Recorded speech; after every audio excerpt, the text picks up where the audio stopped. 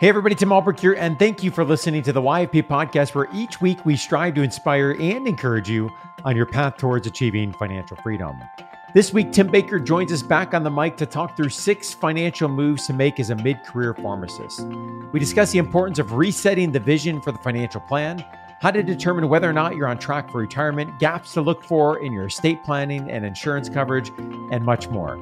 For more information and details on each one of these areas, go to yourfinancialpharmacist.com forward slash mid career. That's one word. Again, yourfinancialpharmacist.com forward slash mid career. Before we jump into this week's episode, I have a hard truth for you to hear. Making a six figure income is not a financial plan. Yes, you've worked hard to get where you are today. Yes, you're earning a good income. But have you ever wondered, am I on track to retire? How do I prioritize and fund all of these competing financial goals that I have? How do I plan financially for big upcoming life events and changes, such as moving, having a child, changing jobs, getting married, or retiring? Or perhaps why am I not as far along financially at this point in my career as I thought I would be? The answer may be that your six figure income is not a financial plan. As a pharmacist, you have an incredible tool in your toolbox, your salary. But without a vision and a plan, that good income will only go so far. That's in part why we started Your Financial Pharmacist. At YFP, we support pharmacists at every stage of their careers to take control of their finances, reach their financial goals, and build wealth through comprehensive fee only financial planning and tax planning. Our team of certified financial planners and our CPA works with pharmacists all across the country to help our clients set their future selves up for success while living their rich lives today. If you're ready to learn more about how your financial pharmacist can support you on your financial journey, visit yourfinancialpharmacist.com forward slash learn. Again, that's yourfinancialpharmacist.com forward slash learn. All right, let's jump into today's show. Tim Baker, good to have you back on the show. Good to be back, Tim. How's it going? Good. It's been a while. Official congrats on uh, the baby. I know you were off for a little while, but we're glad to have you back on the mic. Yeah, thanks for uh, Thanks for hosting. It's just trying to get back in the swing of things. Bait with baby here. Uh, sleep's at a premium, so it's all, all good. well, this week we're talking about moves that mid-career pharmacists should be making, things that they should be thinking about, and really wh- whether someone is early in their journey, you know, these are things to be thinking ahead of, or those that are actually in this season. Hopefully, this is more of a checklist type of a episode where you can go through different parts of the financial plan or perhaps tune up or, or look back at some of these items. Tim, it dawned on me though as we're we're preparing for this episode of like that's us mid mid career. Uh, you know, it's really that that phase where you start to feel like, hey, we've kind of checked off some of those basic foundational items, but there's this whole other set of issues and things that we need to be thinking about going to the future. So for better or for worse, here we are in, in the middle of our career as well. And we're excited to talk through these six moves that mid career pharmacists should be making. And each one of these we have covered at length, if not once, maybe twice or three times on the episode before. So we'll make sure to mention that when we get to these individual items and link to those things in the show notes as well. Tim, I think it makes sense that we start number one really with the goals. You know, th- this is an opportunity, I think, to reset the vision for the financial plan. There often is a lot of transition that can be happening at this phase. You know, this might be the time where people have kids that are getting a little bit older, maybe beginning to think about them moving out of the house. We obviously have to be thinking about taking care of ourselves. Maybe we have elderly parents that we're trying to prioritize as well. So just a lot of transition. I think an opportunity to take a step back and really look at the vision and the goals for the financial plan and how those have changed over time. Yeah, I would package these. I actually, I would actually package this together with like what does the balance sheet look like and then what is the vision mm. going forward so mm-hmm. you know we kind of look at this you know when we work with clients as a get organized and kind of a goal set in you know and as, as a one-two punch and, and this is typically where tim when a pharmacist asks me a question of hey should i do x or y i say it depends a lot of it depends on what is what does the financial picture look like for you mm-hmm. and then what does a wealthy life look like for you both today and in the future and for everyone that's going to be different so that to me is where that answer comes from. So yeah, like I, I think in, in, prepping for this episode, Tim, I, I kind of learned, you know, two things or or, or re, re realize two things um, that I think is really important to say out loud is one is just like a lot of stuff. When I was looking at my, you know, I was looking at my insurance stuff and my and my nest egg calculation and some of the things that we'll talk about in this episode, it's just a lot of moving pieces and it's a and and and it's changed a lot over the years um so that's that's the first thing and i think the other thing is like you know this thing things change and i think having you know checking up on this is is really really important. So when we look at like the when we look at the balance sheet again if you haven't looked at your balance sheet in a long time i think it's really important. It's not necessarily something that we feel in our day to day yeah. but if you if, you know if you if you put your head down and you're working and you're raising a family or doing whatever you're doing and you know two or three years later go by you can actually see the the progress that you know has been made right? So you can see you know how have your assets you know been built up? How have how have your liabilities been paid down or not? You know do you have a different set of you know versus if it's was it student loans in the past and now it's a HELOC um, mm-hmm. or something like that? So I think it's really important to kind of recast the the vision recast the you know the organization of your financial plan and go from going from there. From the vision perspective it's it's laughable when you think about you know like when I you know had these conversations with myself and my wife you know even three or four years ago and then what that looks like today like totally. things like and and and you don't sense that but like when you when you actually look back and you kind of memorialize hey in 2019 pre-pandemic this is kind of our viewpoint this is what we wanted to do and then we look at that today it's it's vastly different mm-hmm. so i mm-hmm. think like you know one of the things that that i would you know challenge people that are mid-career you know from a goal setting perspective is are you doing the things that like make you whole or that you're passionate about? You know, like I was joking around with my team over the weekend that I kind of felt like an Uber driver because I was driving to soccer practice and swim practice and soccer practice again and swim practice again, which is great. Like I love that. I love, you know, you know, um, you know, seeing my kids, you know, mm-hmm. do well in their sports and their activities. But, you know, another conversation that I had with my wife over the weekend was like, are like, are we are we good? Are we on like the the, the track that we want to be on and kind of yeah. checking in with that? And sometimes that's a check in with yourself. Sometimes that's a check in with a spouse. Sometimes it's a check in with like a close mm-hmm. advisor, like a financial planner. Um, and I think it's really important to do that because again, you can put your head down and you know live you know be living your life, but then you know you're you're doing that vicariously through your kids or or or whatever, mm-hmm. and not actually take the time to do the things that you're passionate about. And sometimes, you know, again, you you you your your your own goals and ambitions are kind of take a, a backseat to your kids, which is a it's a natural thing. But at the end of the day, like there typically is enough to go around. Like we can carve out time, we can carve out resources to do the things that you want to do, whatever that is. Um, so I think it's really important, you know, as you are mid career and I think this is where you know people like you know they talk about like a midlife crisis because they kind of get caught in the the rat race and they're like, this is not really the life that I want to yeah.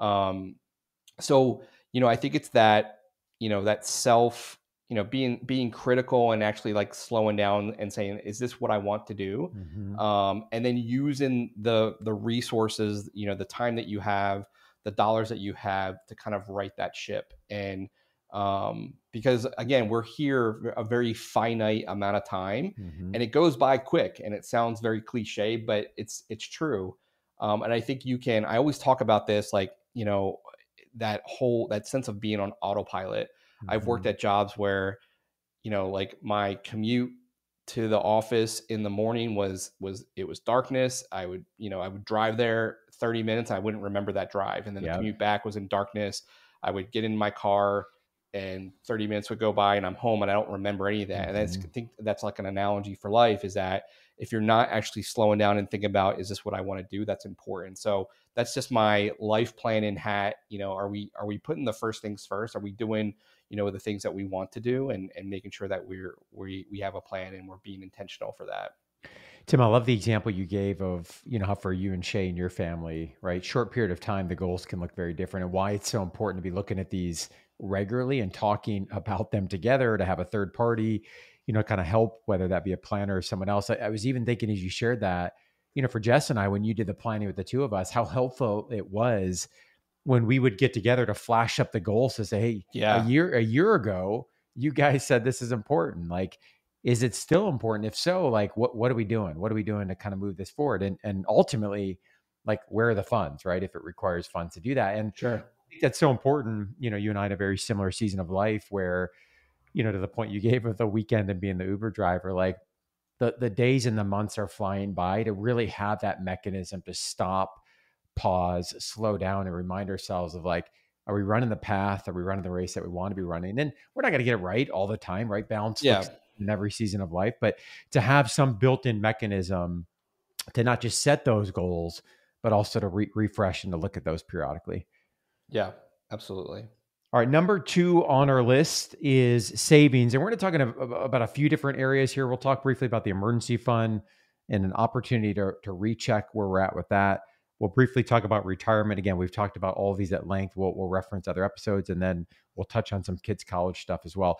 Tim, let, us start with the emergency fund and a recheck. I just talked on episode 357 last week about five questions that we need to be asking ourselves related to the emergency fund. So make sure to go back and check out that episode. But I, I think this is one of those areas, Tim, where we set the emergency fund maybe early on in our career and then we don't think about, wow, a lot has changed. And we really got to relook at is the amount that we have there sufficient and how does this fit in with the rest of the plan yeah it's it's one of those things where yeah it's kind of a forgotten forgotten thing and you know i you know what we really want to do is check in and make sure that you know what what's in there is appropriate and you know are there things that we can do to you know to to to improve it so you know for for a emergency fund what we're looking for is three to six months of non-discretionary monthly expenses. So these are expenses that are going to go out the door regardless of if we work or not. So think things like, you know, a mortgage and insurance premiums and utilities and a food bill. So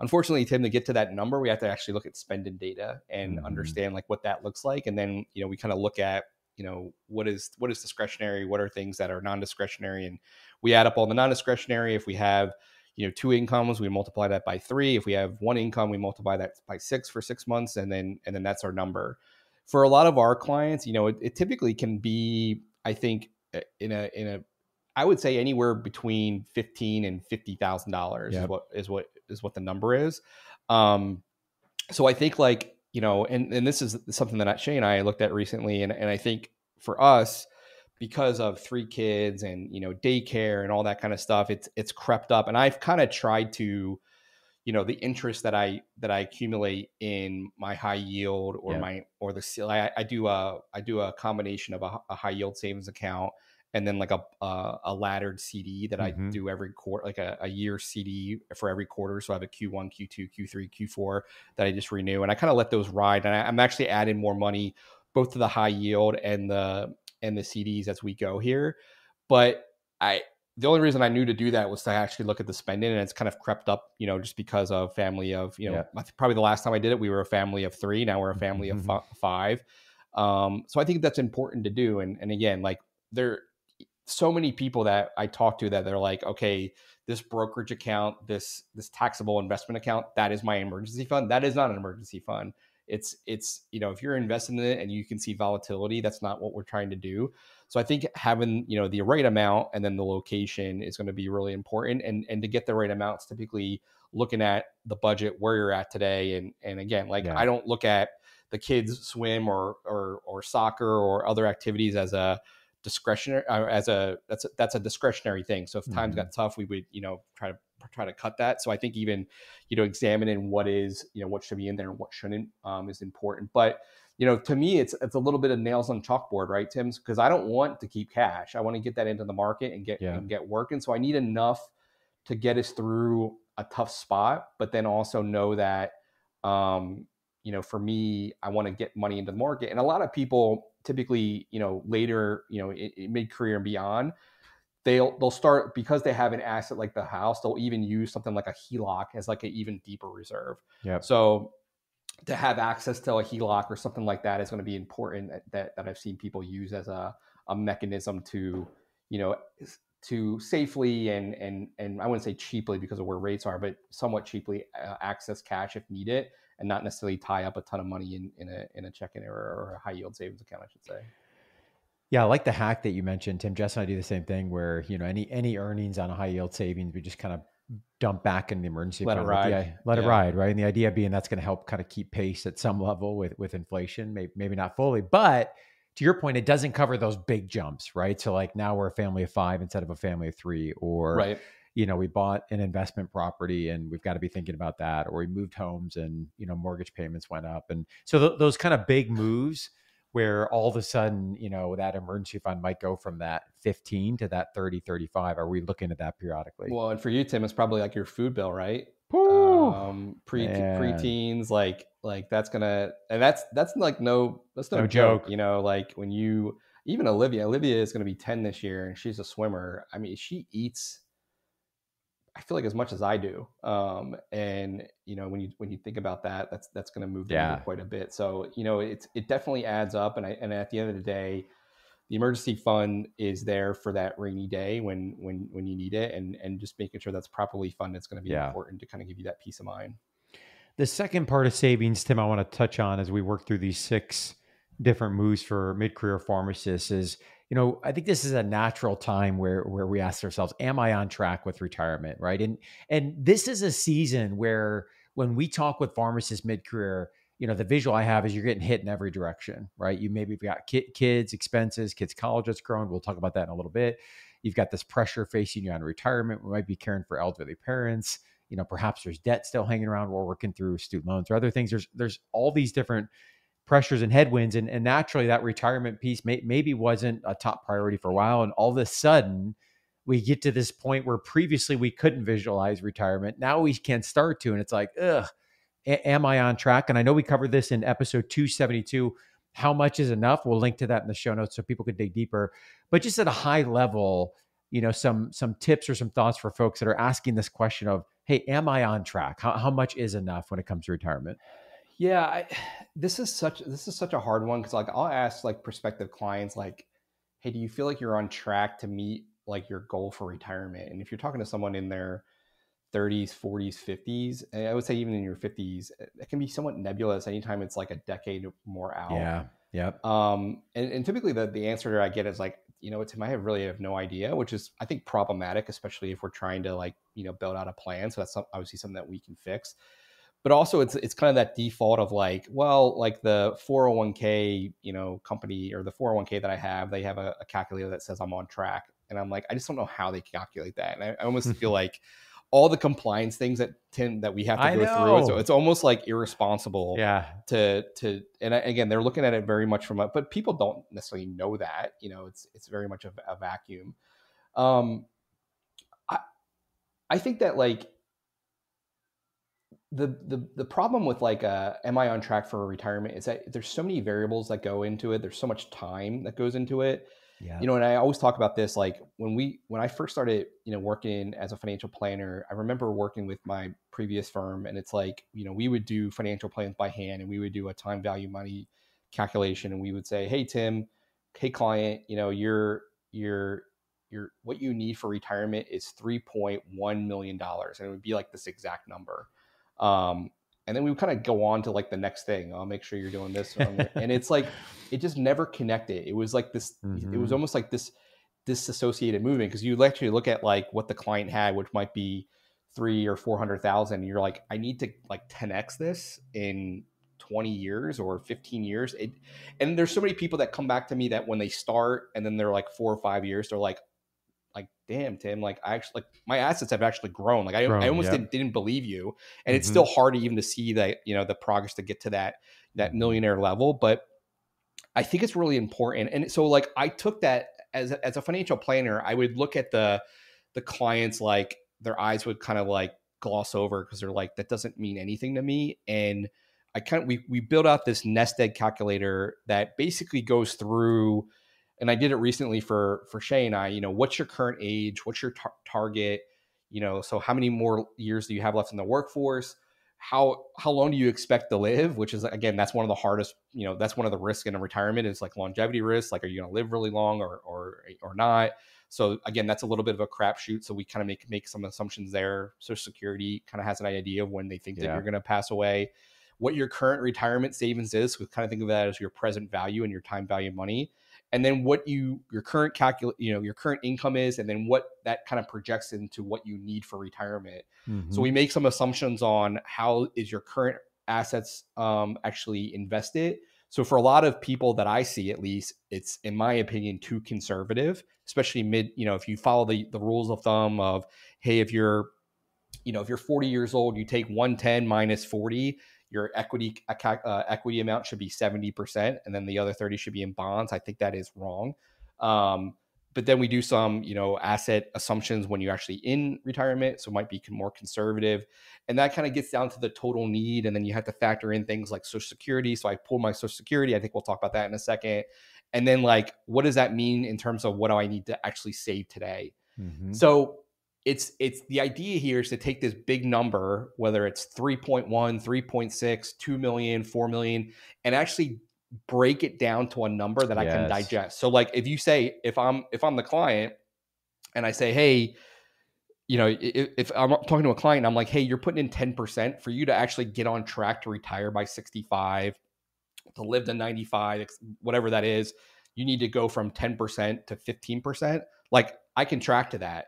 Yeah. And I also, you know, so that actually is a tangible thing. That's a that's a digestible thing that I can do versus just saying we need 3.1, mm-hmm. 3.1 million, and we kind of just are like it's a hope and a prayer, right? So it, it's not it's not a perfect system um, because like when I look at my own nest egg calculation, you know, I'm maxing out my 401k, and it's assuming that I'm going to be doing that for the next 29 years if I retire at 70, which that's a I don't know. I mean, I don't know if that's going to be the case. I'm hoping that's the case, but um, so there, there's, there's, there's some assumptions that we have to make to make to make it kind of come to life. And I think the next level of this, Tim, is kind of going through some simulation. So if I were to, yeah. you know, if I were to, you know, take part of my portfolio and purchase X, or if I were to, you know, go and go down to part time, or you know, do something else, you can actually run scenarios. If I if I buy my Mountain House 10 years earlier. There's some Monte Carlo analysis that'll actually affect, you know, show you how it affects your success rate with your with your retirement. And I think that's kind of the next level stuff. But for a lot of people, it's where am I at? What are the things that I'm uh, that I'm doing today? How can I tweak those things to yes. get a better outcome? And and that could be contribution rate, that could be my allocation, um, that could be a variety of things. So I think that's important to kind of break down and really see you know, because the the more the longer that we wait to kind of affect change here, especially if it's negative, the steeper that gets, mm-hmm. right? So when you're when you're early in your career, you know, a, a tweak here or there could really have monumental changes. The closer you get to that retirement, just the the steeper that climb is, and the harder it is to kind of meet goals. And that's where you have to start then potentially taking a haircut on lifestyle and retirement, or you know the amount of time that you have to work, et cetera. Yeah, and Tim, what I love about the nest egg exercise is, you know, going through it for Jess and I, again, just a reminder with all these things we're talking about, this is not a one and done, right? So if you, if you do a nest egg when you're, you know, 45, there's assumptions we're building into all of these types of calculations, both in terms of the mathematical assumptions, but also what you want. And, you know, you mentioned the different scenarios, and that can change. That probably will change over time. So revisiting yeah. this periodically is so important. But it really moves. I often hear people talk about retirement as like a hope, wish, or dream, meaning like I hope I can retire by 58 or 67 or whatever. Or, you know, I would love if I could potentially work part time at some point in the future. And it's like, hey, yes, those assumptions can change. Many of them will change over time, but we can put a number to these. And to your point, let's get it down to what do we need to be doing on a monthly basis because these numbers do seem scary and and you can see kind of the peace of mind that comes when you walk through these calculations with people when you start with those big numbers three four five million and then you get down to that monthly even if we don't love the monthly number when we factor in employer matches other things savings we already have we'll talk about social security here in a moment it's like oh okay like we can work with that because we can put our arms around it and start to figure out can we build that into the rest of the plan on a monthly basis? So so important especially for those mid-career listening.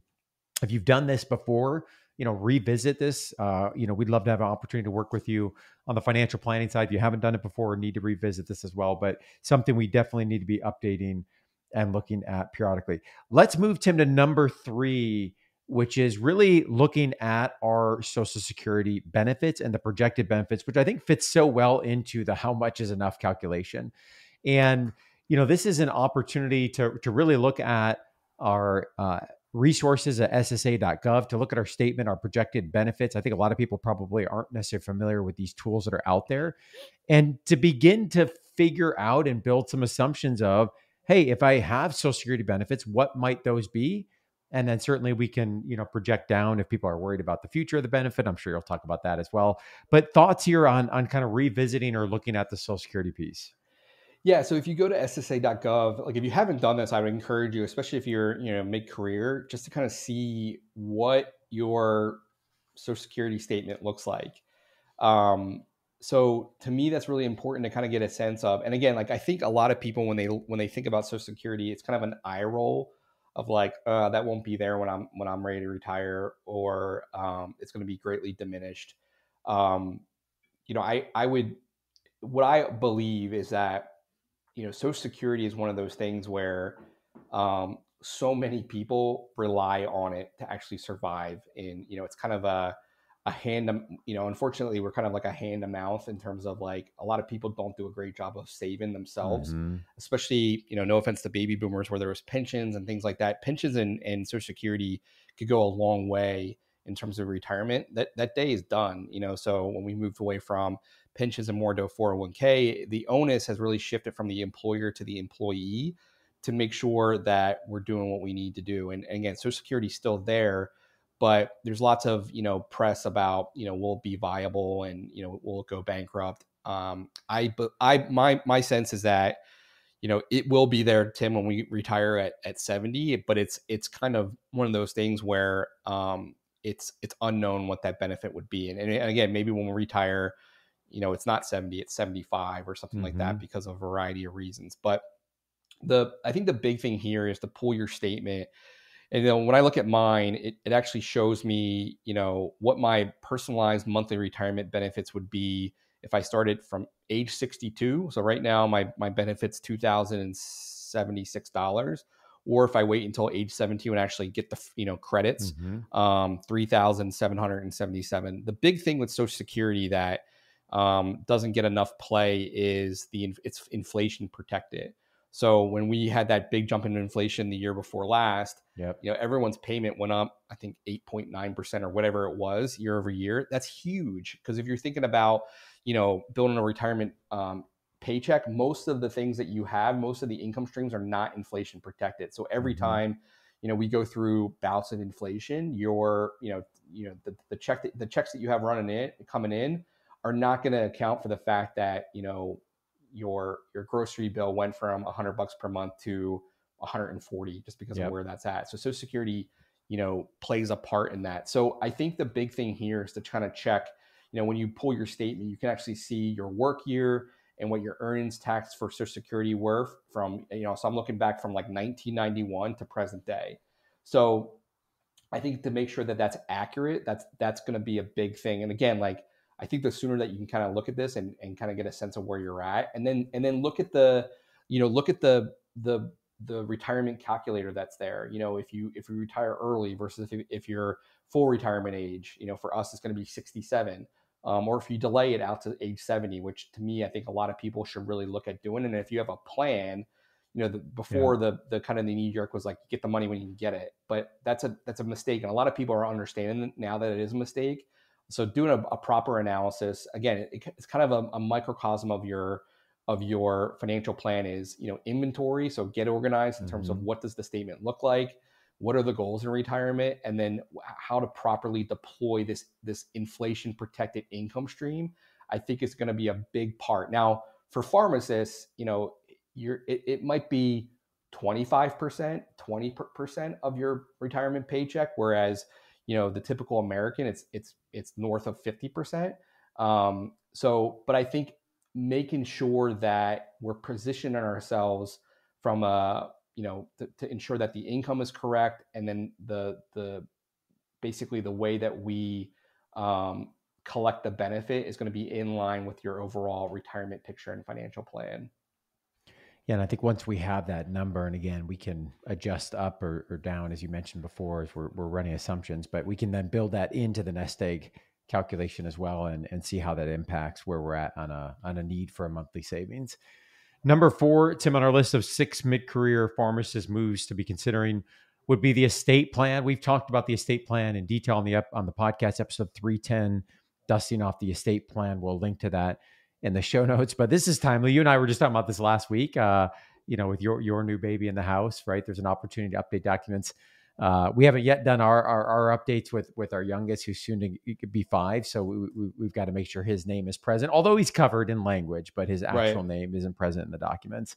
Um, so I, I think again, talk to us through why there's an opportunity mid career to to really be updating these documents, or perhaps for some even even establishing these for the first time. Yeah, it's probably you know I can say this being a a ginger, but it's probably the redheaded stepchild of like the financial plan. Um, mm. It's it's it's it's ignored. Um, and unless you're military, a lot of the clients that are coming through the door really don't have an estate plan in place. And and one of the things that we implemented to kind of really combat this and, and, and really supercharge our ability to support clients is you know we have a, an estate planning solution now that we when we work with clients if you don't have a, a will a living will trust if that's needed we can actually yeah. get those documents in place for whatever state that you live in the country which i think is awesome so you know it's it's one thing to kind of you know say hey tim this is what you need it's another thing to actually like walk side by side with you and get the documents in yeah. place to make sure you're covered so i look at this really from a from from two pers- you know two well i would say it's one big perspective it's just change right so like you know if you think about you know maybe when you were you know early career to where you're at now for some people like could be different relationships like there's mm-hmm. horror stories about people that are leaving money to like an ex um, so i think it's really important to kind of do a beneficiary check to make sure mm. that the money is going to the right people you know shay is going to be my primary beneficiary for like a lot of the things that i have but then right now it's like liam my my my Olivia, my daughter, and Liam, my son, who are the contingent beneficiaries. So if something were to happen to both us, like they would go to the kids. So like Zoe, our our newest our newest baby, has to kind of be in on that, or it could be to like a trust, you know, yeah. a, a trust that is for the benefit of the kids, which is probably the better way to go with minor children. So to me, it, it's it's more of again looking at the the the relationships um, whether they're you know out with the old in with the new um, or you know brand new in terms of kids to make sure that the documents that you had in place clearly reflect your wishes today it could even be things about you know bequesting or yeah hey i want to leave you know money to my alma mater or to my cousin fred or things like that that that still really reflects the things mm-hmm. that you want mm-hmm. to do um, but also you know to, to ensure that from a protection perspective you know if you have dependents they're they're they're taken care of in a sense that you know if, if you were gone or you couldn't speak for yourself the documents that are that are in place you know do do that justice so for a lot of people mid-career it is adjusting what they have or it could be it's just that that thing that's been neglected that you're like yeah. i'm going to get to it i'm going to get to it i'm going to get to it and you have it um you know I'll, when, when i'm ta- when i'm talking to prospective clients and i and i bring up the fact that we we can do this that like perks them up because they know it's important. They know it's like, uh, I gotta find an attorney or yeah. I gotta find mm-hmm. some solution. We got that covered. And to me, that alone, I think, especially if you're you're if you're a family or if you you know, I typically say that the estate plan is really important, really for anybody, particularly but particularly for people that have a spouse, a house, or mouths to feed, right? So if you have those things and you don't have documents in place, I think that that's a, probably the biggest thing that we need to look at you know it's important to get you know a, a, plan for debt it's important to get your your nest egg and a plan for your assets and in, in retirement planning but this is really going to be important mm-hmm. to shore up and make sure you're good to go in, in, the event that something were to happen to you and again it's one of those things like oh that won't happen to me it will happen to somebody else yeah. and then eventually you're going to be that mm-hmm. that someone else so um, not to be morbid but you know i think it's important to to cross those t's and dot the i's with regard to the estate plan yeah, I mean, the reality is just like we'll talk about in the final item number six on the insurance side. Like, it's not fun to think about, right? So it's it's easy. Been there myself. It's easy to kind of drag your feet and uh, let let this be the call to action to either update, take a fresh look at those, or get those documents created. Number five on our list of six mid-career pharmacist moves to make. Tim is probably one that a lot of people maybe aren't thinking about. Again, not necessarily the most comfortable thing to be doing. Would be some of the financial conversations with aging parents. You know, I think it's common that we see mid career pharmacists that are entering into a new stage of caring for elderly parents. Sometimes that you know could be a, a time investment uh, that they need to factor in. That could be a financial investment. Uh, and for some, you know, that might be, hey, this is an expense that we need to be thinking about caring for our elderly parents. Or others, it might be, hey, do do they have the documents, the right documents in place that we just talked about? And do we have an awareness, understanding, and transparency into that information which admittedly is a very hard and awkward conversation to have no matter which way we're looking at it so thoughts here on some of the financial conversations with with aging parents? Yeah, so I think this can be both from an estate planning perspective, but also like a retirement perspective. So it's it's very common for you know our clients, you know, maybe who are you know first generation immigrant that you know they basically say, Tim, I am the retirement plan for my my parents. Right. Right. So so I think like building that into their into the our clients plan is going to be really important because that's that's part of uh, their culture. That's part of the the, the goal. That that's I think that's that's important. I think beyond that, you know, is more of the estate plan and stuff. So I look at this as we have to we have to secure our own estate plan, so our client's estate plan. But then, what are the what are some of the things that can negatively affect? You know, and I'm talking negatively in terms of like financial um, mm-hmm. and maybe some of the legal and logistics. It could be the your parent like elderly parents that don't necessarily have a sound estate plan.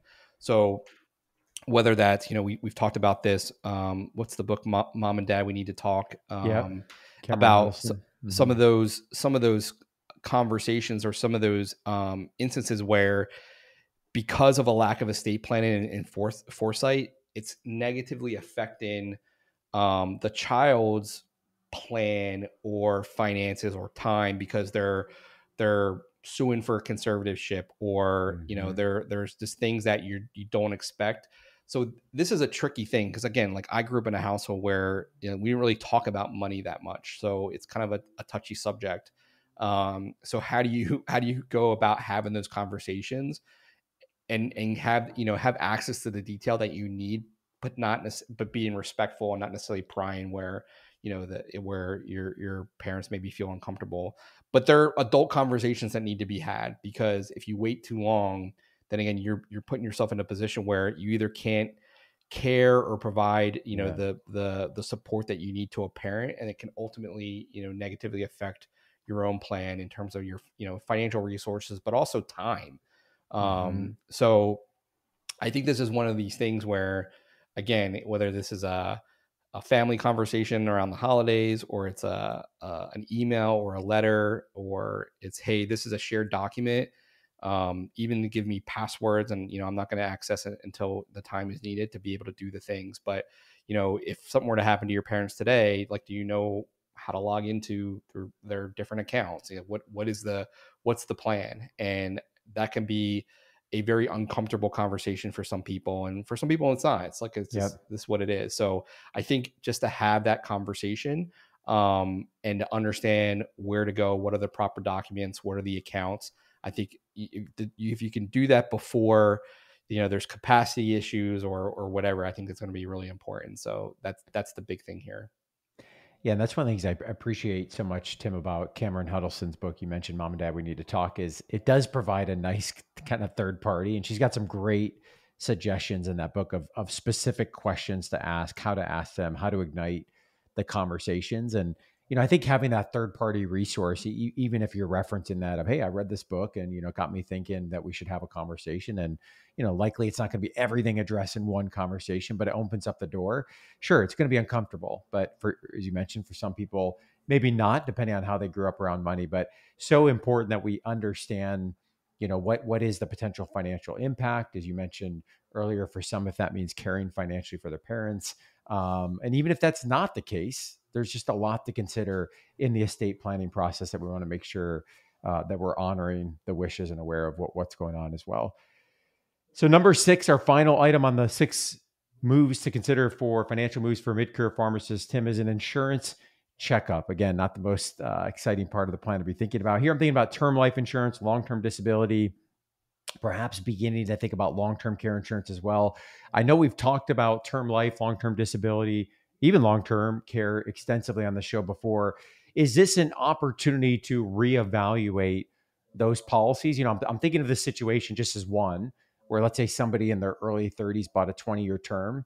Now they're at the end of their late 40s and they're looking at that saying, hey, the term's coming up here in the next, you know, five, six years. So talk to us about how we might look at the insurance part of the plan here as a mid-career pharmacist. Yeah, I, I think like in the absence of like a like an actual insurance calculation you know a lot of people will use a, a, rule of thumb for term insurance of like 10 10 to 15 times income which again that could have changed over the years. If you know if you ha- you have a 20 year policy and you bought it in early 20s or 30s, and now you're you know 40s, 50s, like what does that look like you know going yeah. forward? So I think like I think you know, and I think the other thing too is are there other wrinkles in your financial plan, um, i.e., hey, if, if I were to pass away, you know, one of the questions I would ask myself is like, do I want to be able to send, like, do I want to, do I want Shay to have to worry about the mortgage or mm-hmm. paying for the kids' education, right? So maybe that's something that like I, I built into my my plan going forward, and I didn't have that, you know, ten years ago,